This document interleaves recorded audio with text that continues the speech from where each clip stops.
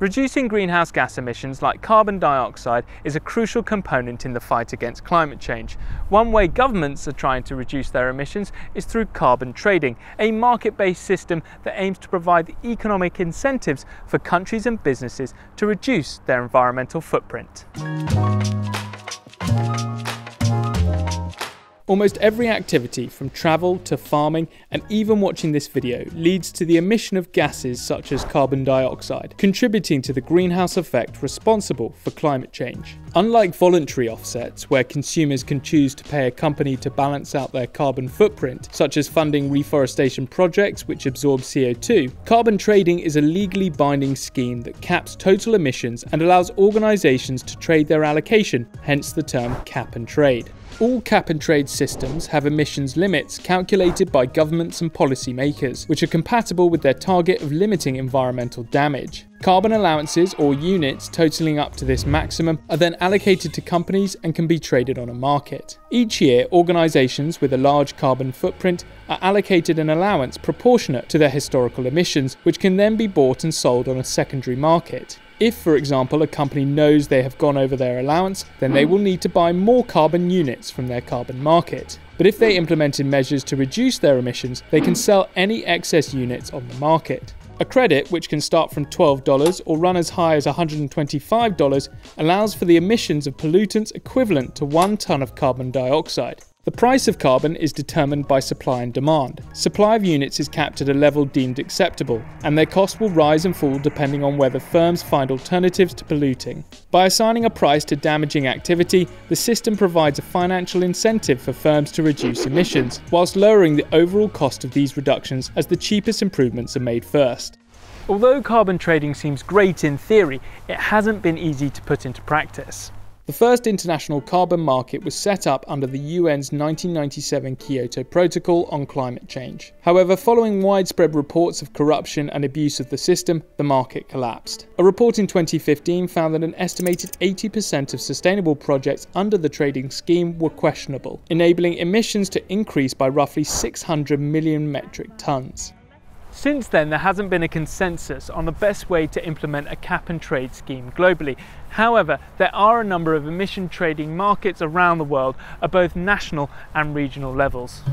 The oldest active carbon market is the European Union's emission trading system, which launched in 2005, while other schemes are operating in Canada, Japan, New Zealand, South Korea, Switzerland, and the United States. At the start of 2021, China launched the world's largest carbon market for its thermal power industry. The sector accounts for 40% of China's emissions, equivalent to double the emissions covered by the EU's carbon market. As governments tightened environmental standards, the total value of global carbon markets grew 34% in 2019, reaching 194 billion euros. It's the third consecutive year of record growth and values these emissions nearly five times their worth in 2017. And the number of cap and trade markets is likely to increase as many countries, cities, and companies worldwide try to meet their ambitious pledge of net zero carbon emissions by 2050, a target set by the United Nations. Cap and trade systems have been successful in tackling environmental problems in the past, including one covering sulfur dioxide emissions, which helped reduce acid rain in the US. Compared to direct regulations or taxes, carbon trading doesn't require as much government intervention in the economy, leaving businesses to find their solutions. And as long as the cost of emitting greenhouse gases is high enough to encourage these alternatives, many environmentalists believe it could be a relatively straightforward and efficient method to drive decarbonisation.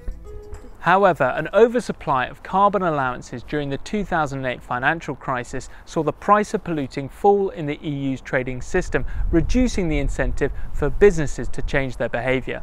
In response, the EU created the Market Stability Reserve, or MSR, a decade later, which gives the European Commission the ability to tighten or loosen the supply of carbon units. As a result, their price tripled from 8 euros per tonne of CO2 to around 25 euros per tonne of CO2 over a year. In turn, the energy sector moved output away from coal power stations to cleaner natural gas powered electricity production that produces less CO2. In 2019, emissions fell by 8.7%, the largest decline since 2009. The EU's carbon market has also caught the eye of hedge funds and traders. Whereas OPEC controls a third of the global oil supply, the EU regulates all carbon allowances within its emission trading system. And with the EU's long term aim of gradually increasing the price of carbon units, these are seen as a popular long term investment. While the COVID 19 pandemic led to a glut of carbon allowances as activity across the economy fell, prices are now back up above pre COVID levels. However, there are concerns that heavy emitters may find loopholes in carbon trading systems. Unlike the earlier Kyoto Protocol Agreement, the 2015 Paris Climate Agreement commits all signatories, not just the most developed economies, to impose carbon emission targets. If implemented successfully, analysts believe that international emissions trading could cut global emissions by around 60 to 80% by 2035.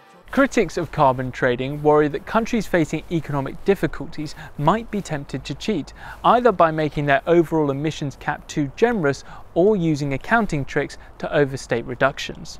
For example, a nation might reduce its carbon emissions by building a wind farm to replace a coal-fired power station. This would free up a portion of its carbon allowance, which could be sold to another country but might still count as a reduction in the first country's emissions, even though overall output hasn't changed. There are also fears that major polluters might relocate across borders to avoid signing up for a cap and trade scheme or finding a more lenient jurisdiction.